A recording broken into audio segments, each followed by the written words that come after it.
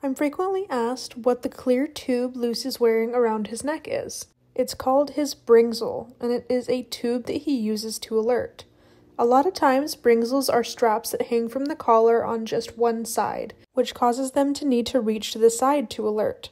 With this special type of bringsel that hangs directly below the dog's mouth, they just need to reach down and grab it to alert. This reduces long term neck strain. Here you can see Lucifer start to catch on to the scent of an alert, and in a moment you'll see him stand up, double check the scent, and then lay back down and begin to alert. Lucifer is Bringsel trained because I'm allergic to him, so doing a paw alert or a nose boop alert can both make my allergies worse. Using a Bringsel is a method of no contact alerting that is a visual way for him to tell me that I'm about to have a medical episode.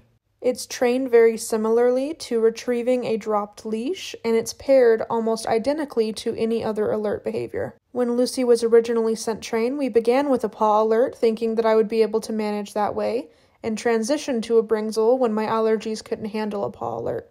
Bringsels can be used for so much more than just allergies, though. They can be used for people who struggle with balance or with sensitive skin.